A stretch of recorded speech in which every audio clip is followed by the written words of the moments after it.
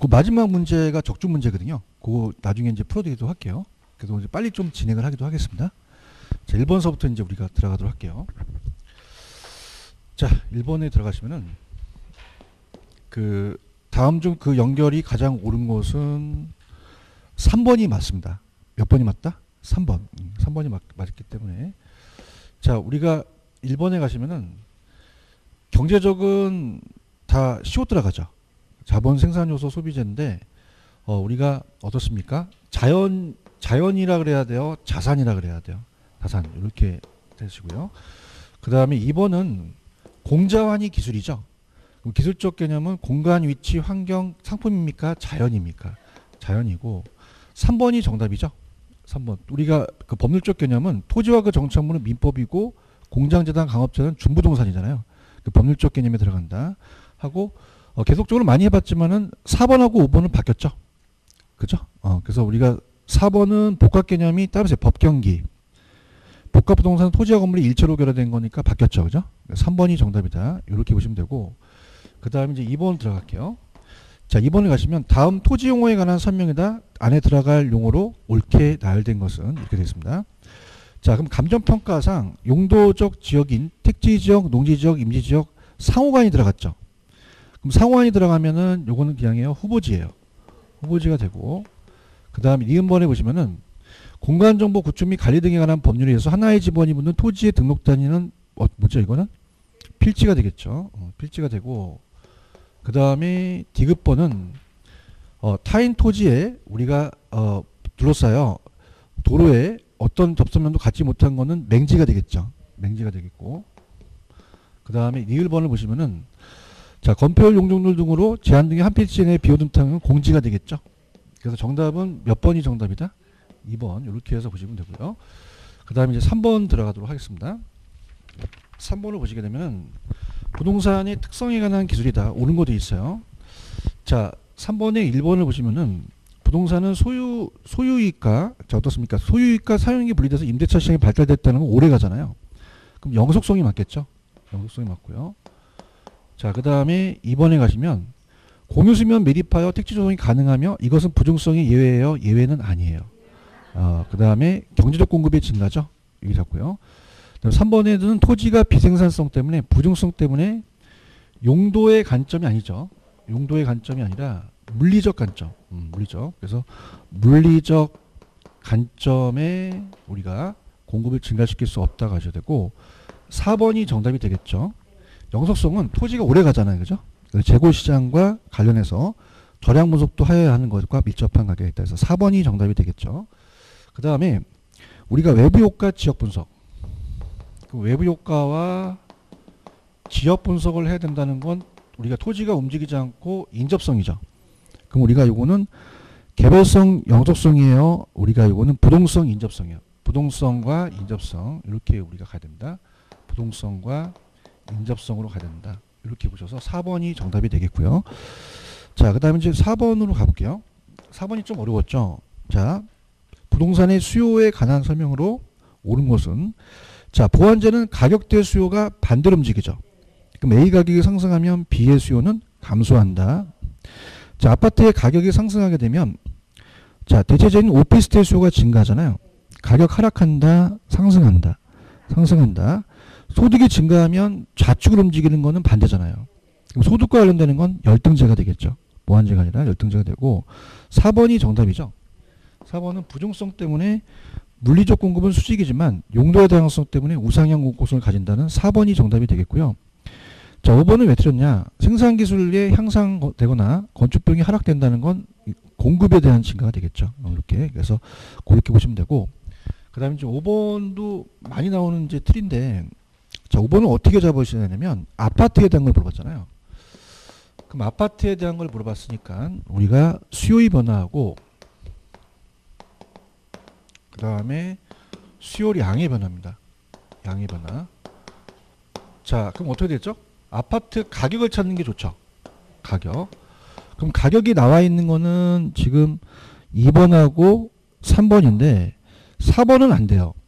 예상은 수요의 변화가 되겠죠. 근데 이제 2번하고 3번인데 3번 안 되는 게 건축 기술은 공급이니까 2번만 정답이 되겠죠. 그렇죠. 이렇게 보시면 되고. 자, 그 다음에 들어갑니다.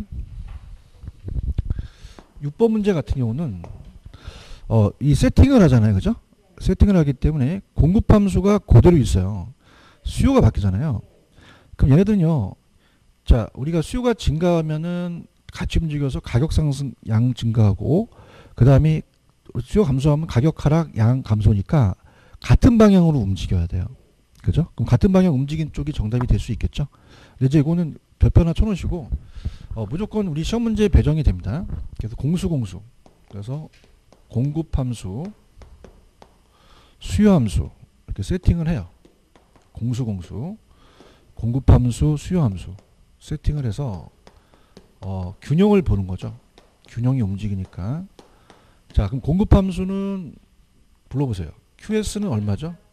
10 플러스 4P가 되고 요것도 QS 10 플러스 4P죠. 그럼 요걸 갖게 한, 갖게 한 다음에 균형이 움직임을 봐야 되잖아요. 그죠? 자, 그러면은 QD가 QD1이 얼마가 돼요? 100 마이너스 2P. 자, QD2는 80 마이너스 3P가 되죠. 어. 갖게 하죠. 그죠? 음, 갖게 하기 때문에 자, 요걸 갖게 합니다. 갖게 하게 되면은 어, 10 플러스 4P는 자, 우리가 100 마이너스 2P가 되는데 P는 모으잖아요. 6P가 되고 숫자는 빼죠. 90이 되는 거죠. 그럼 P는 얼마가 되겠어요? 15가 되겠죠. 그럼 대입시키면 양이 70이 나오죠. 그죠? 이렇게 잡으시고 그 다음에 요거 세팅을 합니다. 그러면 이건 바로 더해 볼게요. 7P죠. 7P고 숫자는 빼니까 70이니까 P는 10이 되잖아요. 그럼 양은 얼마가 되겠어요? 50이 되겠죠. 그럼 가격은 5원 하락. 그죠? 그 다음에 양은 20 하락만큼 감소가 되니까 4번이 정답이 되겠죠. 자, 이렇게 보시고. 자, 그 다음에 이제 7번 문제는 이제 감정평가 문제였는데 이 파트는 우리가 종합적인 문제가 나올 수 있어요. 그래서 이제 종합, 종합적인 문제가 나오니까 일단 7번은 틀린 게 2번이 확실히 틀렸죠. 자, 따라서 B가 더. 자, 가격이 폭이 더 크다는 거는 비탄력 쪽일수록 더 큰 거죠. 어, 그래서 이거는 설명 이렇게 드려도 되겠죠. 어, 그래서 비탄력 쪽일수록 수요 증가에 따른 가격 변동이 크다 가셔야 되죠. 그래서 이번에는 B가 빠졌죠. 이렇게 잡으시고. 자, 부동산 시장은 단기적으로 수급 조정이 쉽지 않기 때문에 가격이 왜곡되는 건 맞아요. 그다음 취득세 강화는 수급자의 시장 진입을 제한하고 시장의 효율성을 저해하겠죠. 그죠? 자, 토지용 규제를 막 강하게 하면 택지 공급이 안 되죠. 비틀어져. 그럼 주택 공급도 비틀어지게 돼서 요인이 되겠고, 자 주택 시장에서 시장 가격보다 낮은 수준으로 시, 가격 상한 규제를 하게 되면 장기적으로 민간 주택 공급량은 더 감소하겠죠. 자, 그 다음에 8번 문제 갑니다. 자, 8번 문제 또 조금 어려웠죠, 그죠? 음, 어렵다는 게 이제 우리가 응용하는 문제인데 들어가 보도록 하죠. 자, 수요와 공급의 탄력성에 관한 설명 중 옳은 것은 수요의 가격 탄력성을 얘기하죠. 자, 이거는 가격 변화에 대한 수요량의 변화가 됩니다. 그러면 우리가 대입을 시켜서 대입을 시켜서 자, 가격 자, 우리가 3이 된다는 거는 위에 게 더 큰 거잖아요. 그럼 숫자가 바뀌어야 돼요. 음, 그래서 자, 수요량이 30%가 증가한 게 나와야 되고 가격은 10% 하락이 나와야 되죠. 바뀌었죠, 그죠? 어, 이걸 응용한 거고요. 자, 그 다음에 이제 3번 정도를 연결시켜 볼게요. 3번도 이제 연결시키게 되면은 3번 갑니다. 3번에 수요의 가격 탄력성이 0.5죠. 0.5고 자, 우리가 가격 대비 수요량을 보는데 자, 갑니다. 가격이 20%가 상승했죠. 그럼 10%는 맞아요. 근데 10%가 증가다 감소다 이걸 낸 거죠. 그죠? 어, 이걸 낸 거고. 그 다음에 2번을 가시면은 수요의 교차 탄력성은 자, 교차 탄력성을 얘기한 거잖아요. 그럼 정상 열성제가 아니라 대체제와 보완제가 나와야 되죠. 그럼 어떻습니까? 여기서 어, 수요의 교차 탄력성보다는 소득 탄력성으로 고치는 게 좋죠. 그런가요? 정상제 플러스 정상제 마이너스 열등제니까 이건 교차보다 소득이 낫겠죠. 고치셨죠. 그 다음에 4번 생산의 소진 기간이 짧다는 건 공급이 쉽잖아요. 탄력적이고 생산의 소진 기간이 길면 비탄력적이다. 자 5번은 단비 장탄이잖아요. 그 단기는 비, 장기는 탈. 그러면 수요나 공급이나 모두 장기 경우가 단기보다 더 기울기가 완만한 탄력적이 맞겠죠. 5번이 정답이죠. 어, 5번 정답이다. 그 다음 이제 9번 들어가겠습니다. 9번 갑니다. 자, 9번을 가시면 부동산 경기 변동에 관한 설명으로 옳은 거 돼 있어요. 자, 1번에 가시면 2007년 정부의 파리 정책은 이건 무작위적이죠. 무작위적. 그래서 이거는 1번이 무작위적 변동이다.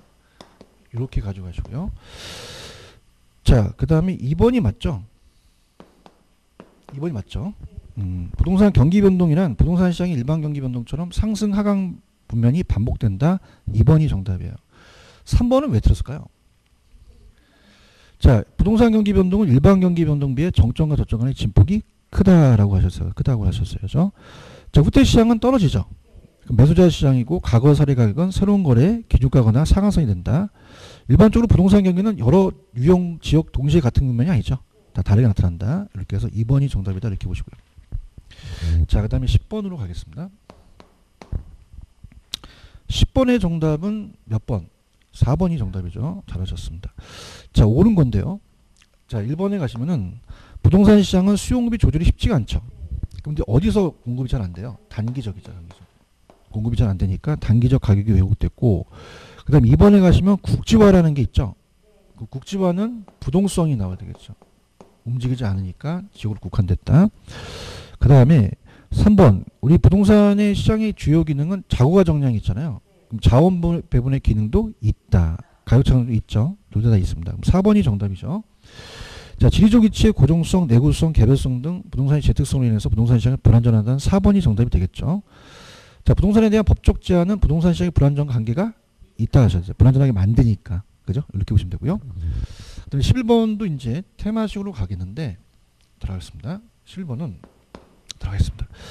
어, 다음은 부동산 정보와 시장과의 관계를 설명하다 가장 옳은 것도 있잖아요. 어, 자, 이거는 이제 혹시 우리 요약 갖고 오셨죠? 요약 갖고 오시면은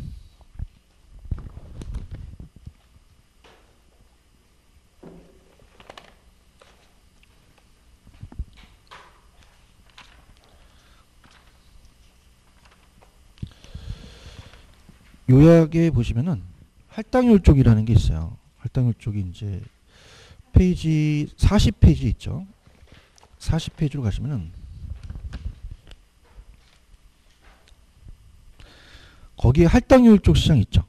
음, 자, 그러면 11번에 1번 할당은요. 1번 어떻게 돼요? 초과에는 얻기가 쉬울 것이다. 초과는 얻을 수 없다. 초과에 존재하지 않잖아요. 않고 그 다음에 제 그 테마 10에 1에 가시면은 거기에 정보 비용 수반이라는 게 있어요. 그럼 정보 비용 수반은 비입 들어가니까 못 됩니다. 불안전. 2번이 정답이 되겠죠. 그 다음에 3번. 3번은 우리가 초과연과 투기는 비입이 안 들어가잖아요. 그러면 불안전 때문이 아니라 할당이지 못하기 때문에 그러셔야 되고요. 자, 4번은 강성률 쪽 시장은 정상을 얻을 수 없는 게 아니라 초과인을 얻을 수 없다고 하셔야 되죠. 정상을 얻을 수 있습니다. 어, 그 다음에 5번 부동산 시장은 주식시장이나 일반 상품처럼 더 불안전함으로 비효율적 할당 효율적일 수도 있다라고 되죠. 2번이 정답일까요?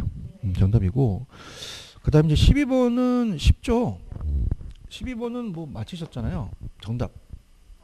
마르크스죠. 어, 그래서 우리가 자 토지의 비옥 위치나 비옥도 토지 생산물의 수송비 절약 분과 관계가 없이 토지를 소유하고 있다는 것만 토지 소유자가 나온다면 지존 지대를 요구할 수 있죠.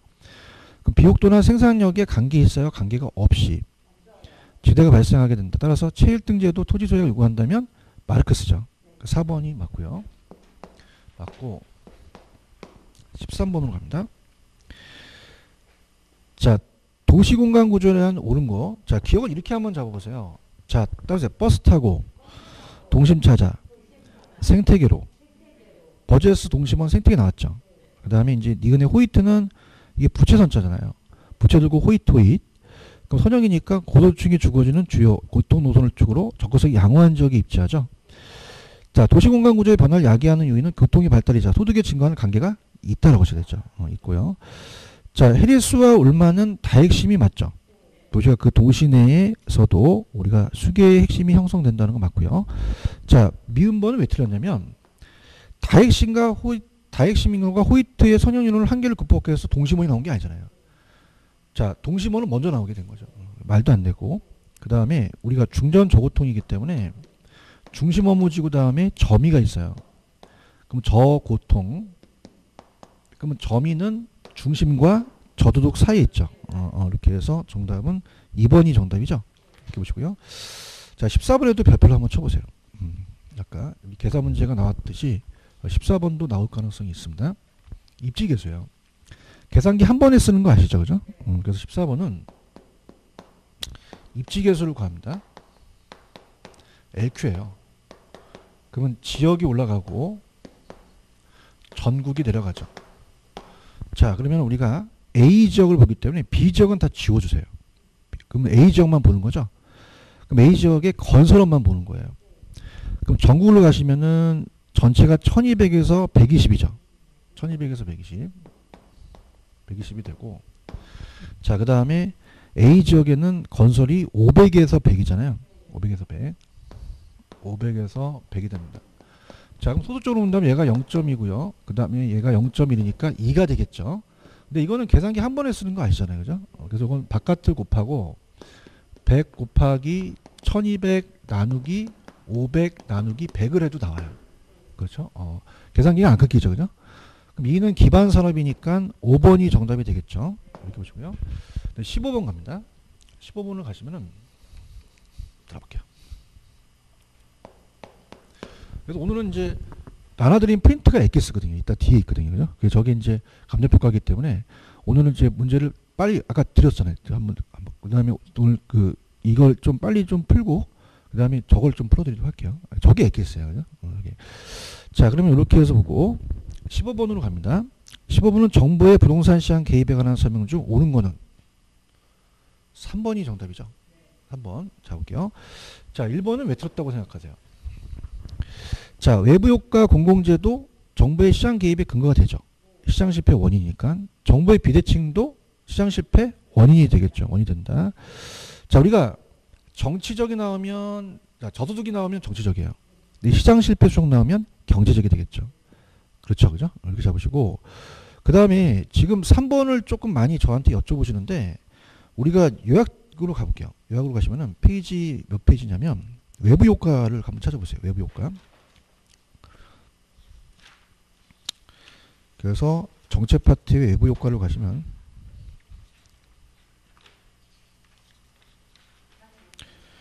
사십 6페이지 있나요? 5페이지에 45페이지 46페이지의 외부 효과를 보세요. 외부 효과 보시면은 정해복과와 부해복과가 있죠. 그게 이제 저한테 많이 물어보는데 자 우리가 생산은 비용이고 소비는 편익이에요. 그러니까 뭐가 뭐보다 크면 무조건 개입을 해요. 그죠? 어. 무슨 말씀 아시겠습니까? 음, 그러니까 여기서 지금 사적 편익보다 사회적 편익이 큰 건 정해복과거든요. 그 정도 개입을 하잖아요. 그래서 3번이 맞는 거죠. 이해하셨습니까? 어, 그래서 어, 렵게 생각하지 마세요. 그냥 뭐가 뭐보다 크다면 무조건 개입을 해요. 그러니까 정부가 갖게끔 만들어 주려고 하는 거잖아요. 그죠? 어, 그래서 정답은 몇 번? 3번이 정답이 되겠죠. 이게 좀 어려웠을 거라고 보고요. 3번이 기준이 됐었거든요. 그죠? 어, 3번이 정답이 되고 그 다음에 자 4번 공공재는 시장의 기구에 맡기면 경합이에요? 비경합이에요? 배제다 비배제다? 비배제 무임승차 현상이 발생하죠. 그 공원 등과 같은 공공재의 경우는 과다가 아니라 과도 생산이 되겠죠. 개입할 수 있죠. 자 5번 주택의 금융 지원은 간접적 입수단이죠. 정답은 3번이 정답이죠. 그죠? 음, 이렇게 가시고요. 그다음 16번입니다. 여러분들. 그럼 외부 효과 그대로 껴놓고 한번 보세요. 자, 틀린 걸 이제 보는데, 자, 일단은 지금 외부 효과 아까 봤을 때 정은 과소 생산이에요. 과대다, 가소다. 과소. 왜냐하면 공공재 같은 경우는 시장에 맡기면 과소 생산되잖아요. 근데 부의 부가는 과소예요, 과대예요. 과대거든요. 어. 그러면은 자 편법을 약간 이용한다면 우리가 이 내일 점심시간에 부대찌개를 드세요. 그럼 부대가 중요하죠. 부는 과대, 정은 과소가 되겠죠. 음. 그러면 2번이 바뀌었죠. 시장 원리에 의해서 정은 외부 효과는 과소 생산, 부회복가는 과대 생산이 되겠죠. 2번이 정답인가요? 자, 1번 부담금 무관화 중과세 정책은 부회복가를 창출하는 재화의 공급을 또 억제하겠죠. 막으니까. 자, 3번 같은 경우는 우리가 지역 지구제도 지역 지구제도 자, 우리가 만약에 이렇게 주택과 주택이 있는데 공장이 있어요. 그럼 폐수를 내려보낼 수 있잖아요.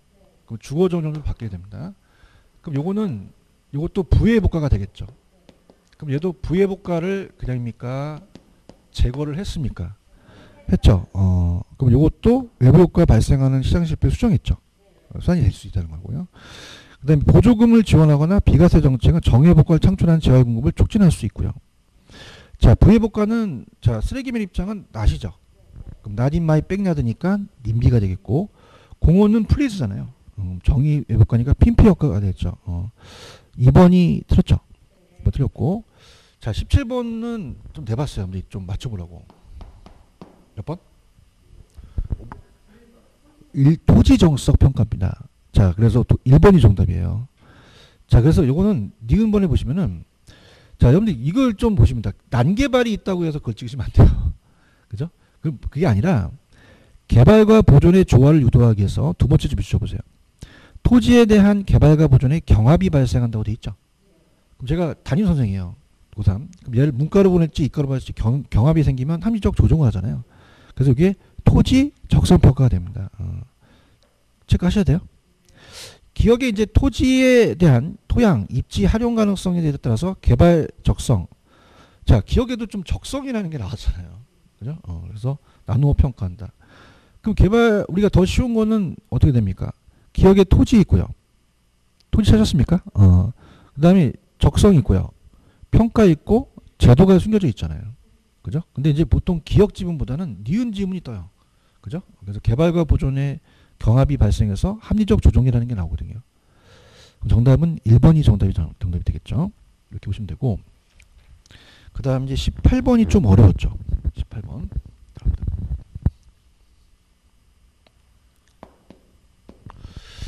자, 18번에 임대주택 정책에 관한 설명 중 가장 옳은 거는 2번이 정답이에요. 잘하셨습니다. 자, 1번과 5번을 묶어보세요. 자, 1번은 기출이고 5번 아직 예상인데 자, 1번에 주거지 선택 자유가 있죠. 그럼 주거지 선택 자유는 누구한테 보조하는 게 낫다요?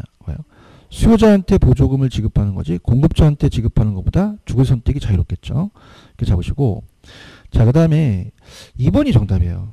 자, 그대로 읽어보시면 돼요. 균형임대보다 낮게 했죠. 그럼 얘들 공급을 안 할 거 아니에요. 그럼 어떻게 할수록 공급을 더 안 하겠어요? 가격 탄력성이 비탄력적일수록 가격 임대료 하락에도 공급량을 감소하지 못해서 임차인의 혜택이 더 커지게 되겠죠. 음. 이해하셨습니까? 음. 그 다음에 자 요거는 우리가 요약으로 가시면은 자 우리 페이지로 가시면은 임대주택 정책 공공이라는 게 있어요. 아 공공을 제가 안, 안 넣구나. 공공이 잘 시험에 잘 안 나오거든요. 그죠? 안 넣는데 자 들어볼게요. 자 3번을 3번하고 지금 4번 있죠. 찾았습니까? 자, 우리가 그 공공임대주택 공급하면 단기는 물론 장기적으로 사회 전체 임대주택 수는 증가합니까? 불변입니까? 불변이에요. 그죠? 어, 그죠? 왜냐하면 어떻게 돼요? 단기에 어떻게 공공주택이 공적 시장에 있으니까 옮기잖아요. 그죠? 그럼 단기에는 애들 수요가 감소하니까 가격이 떨어지잖아요. 그럼 단기나 단기는 둘 다 다 혜택은 있어요. 그죠? 그런가요? 근데 장기로 가서는 공적의 공급을 줄여버려요. 줄인 것만큼 그, 자 사적에서 줄이다 줄인 만큼 공적에서 올려놓으니까 전체적인 양은 배변이 되겠죠. 그런가요? 음, 그래서 자 공공임대주택 공급을 당기는 물론 장기적으로 사회 전체적 임대주택은 증가합니까? 장기적으로는 사회 전체적인 것은 불변입니까? 불변이 돼요. 그렇죠. 그다음에 아까 얘기했지만은 공적 사적 다 혜택을 받는 건 단기에만 받습니다. 아, 왜 단기에만 수요가 자석시장에서 줄고 가격이 떨어지고 공적으로 옮겨가지고 옮긴 놈과 사적은 다 단기에만 혜택을 가요. 그죠? 어, 왜 그러냐면 자 4번을 보세요. 자 장기적으로는 민간주택 공급을 감소시키거든요. 그럼 다시 가격이 회귀되기 때문에 그래요. 이해하셨죠? 그래서 3번을 가시면은 자 공공임대주택 공급하면 단기는 물론 장기적으로 사회 전체적 임대주택 수는 증가합니까? 장기적으로는 불변입니까? 불변이고 그 다음에 장기적으로 사적 임대주택 임대는 원래대로 회귀되므로 사적 시장의 임차인에게만 어떻습니까? 혜택이 없죠, 그죠? 음, 그렇기 때문에 장단기 모두 다 임차인의 혜택을 주는 건 아니겠죠. 자, 4번 당연히 공공주택에 대한 공급은 장기적으로 어떻게 됐어요? 민간 임대주택 공급은 감소하겠죠. 어, 가격이 우리가 떨어지니까 공부 안 하잖아요. 이해하시겠죠? 음, 근데 5번 아직 안 나왔어요. 시험 문제. 임대료 안정이라는 단어가 있나요? 요거는 가격을 떨어뜨리는 입장입니다. 그럼 자, 수요자한테 보조해주면 돈이 생기니까 가격을 붙이길 수 있어요. 그죠? 근데 공급자한테 보조해주면 공급이 늘어나니까 가격이 떨어질 수도 있죠. 그럼 임대료 안정 측면에서는 공급자 보조가 수요자 보조가 낫다는 거예요. 이해하셨습니까? 어, 이렇게. 정답은 몇 번 정답? 2번. 이렇게 보시면 되고. 자, 19번에 틀린 거는 몇 번일까요? 3번이죠. 자, 좀 오타가 났는데 그냥 자원 배분 배분이라고 좀 고쳐주면 배분단이 아니라 배분의 기능을 갖고 있죠. 조세도 자원 배분 기능 하죠. 자, 집가 상승에 대한 기대가 퍼져나갔어요. 양도세를 중과하는데 동결효과는 물량이 안 나와요. 그럼 집가는 오히려 상승할 수 있다. 자, 3번. 조세를 부과하게 되면 전가시키잖아요. 그럼 수요자, 공급자 모두 세금을 부담하겠죠. 그럼 전가시키니까 상대적으로 가격이 어떻습니까? 자, 지금 여기서 상대적으로 가격 탄력성이 높은 쪽이 세금을 더 많이 부담해요. 낮은 쪽. 낮은 쪽이 비타르 쪽이 더 부담하겠죠. 3번이 정답인가요? 자, 주택시장에서 주택공급선이 완전 비타르 쪽이죠. 그러면 공급이 완전히 불리해요. 그럼 재산센터 공급자한테 부담하죠. 올해 헨리 조지 나옵니다. 이따 보여드리겠지만. 그럼 헨리조지는 토지에 발생하는 지대 수를, 헨리조지가 나오면 거의 다 옳은 지문이거든요. 그래서 토지에서 발생하는 지대수를 100% 증세할 때 토지세 수임하는 재정을 충당할 수 있기 때문에 토지의 모든 조세는 철폐하죠. 토지 단위수 운동 정답은 몇 번?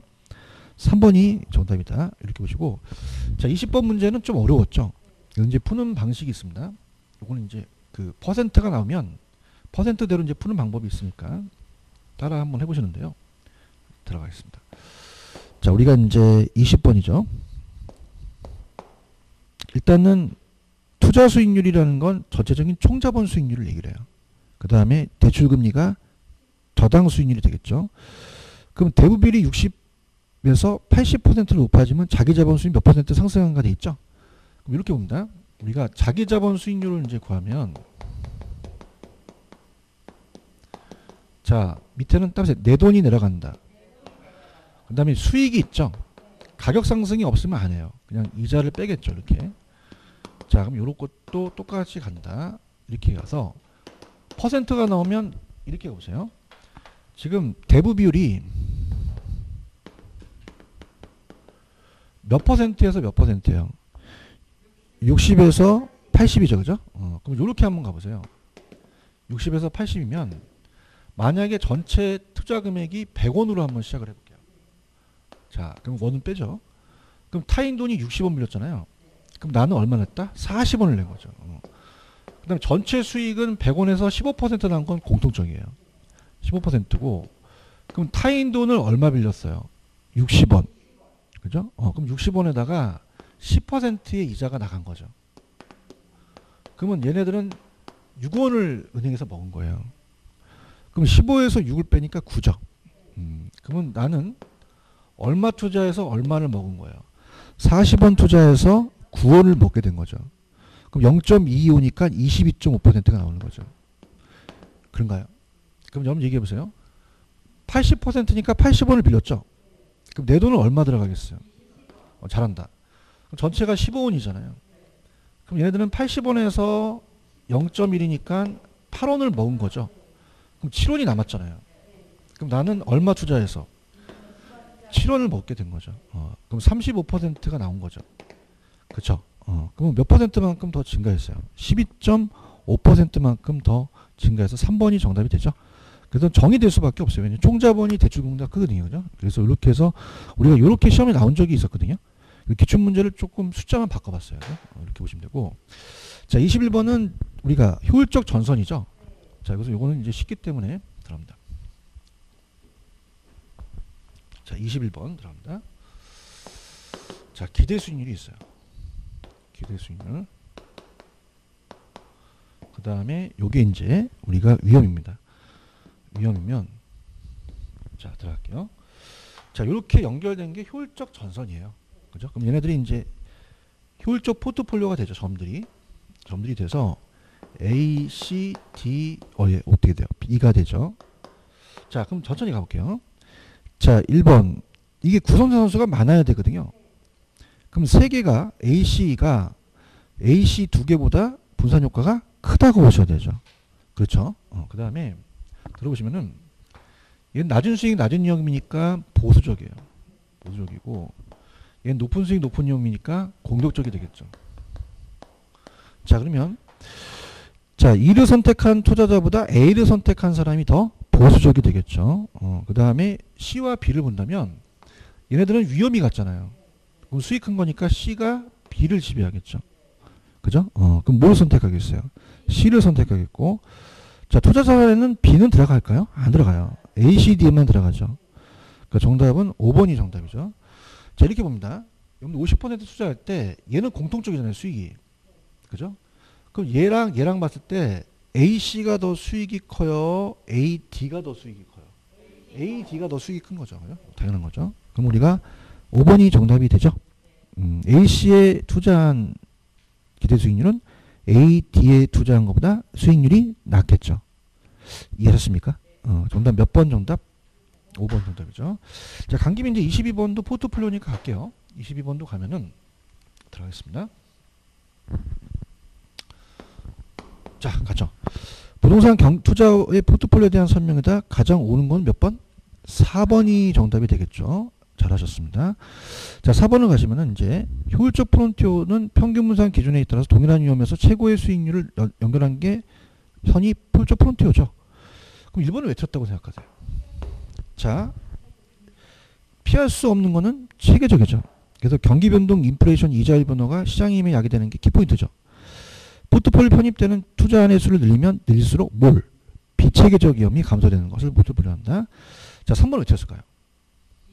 그렇죠. 0이 아니죠. 그죠? 음, 그래서 0이 아니라 1이라고 하셔야죠. 그래서 포트폴리오 구성하는 개별 투자산의 상관계수가 1이 아니라면 분산 투자를 해서 투자 위험을 줄일 수 있다는 거죠. 4번이 정답이죠. 자, 그래서 5번에 가시면 투자자의 자신의 무차별 곡선과 효율적 frontier가 접하는 점이죠. 어, 최적 포트폴리오가 되겠죠. 이해하셨죠? 그죠? 어, 그 다음에 23번까지 한번 가보겠습니다.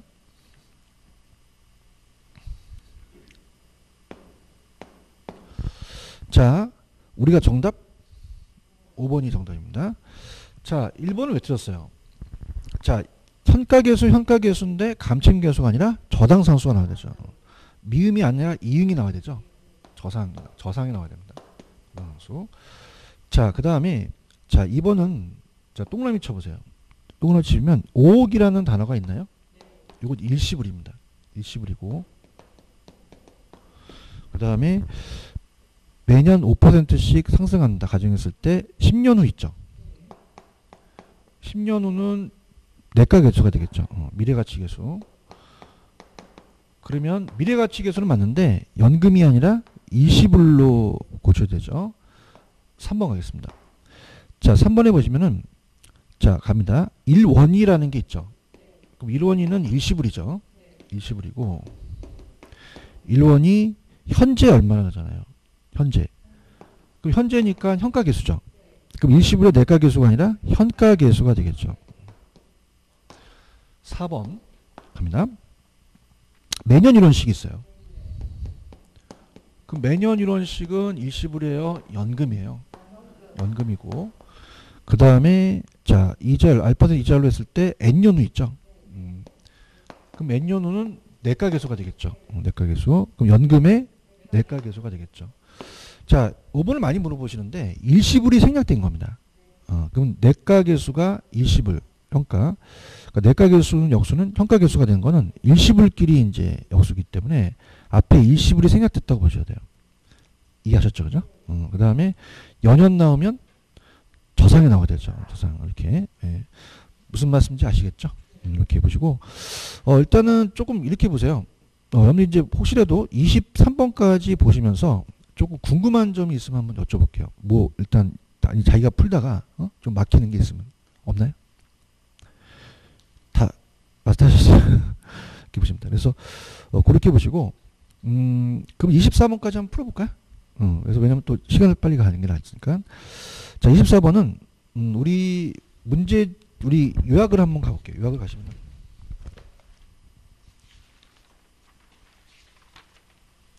가공기 유형순 아시죠? 음. 그래서 57페이지를 피시면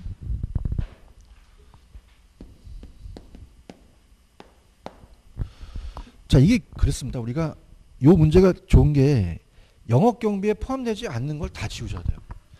근데 그게 영업 경비에 포함되지 않는 거가 나와 있는 게 전부 다 나와 있거든요. 여기만 마스터 하시면 돼요. 그죠? 마스터 하시고 그 다음에 순대감이라는 게 있죠. 여기까지. 그래서 천천히 가볼게요. 24번 들어갑니다.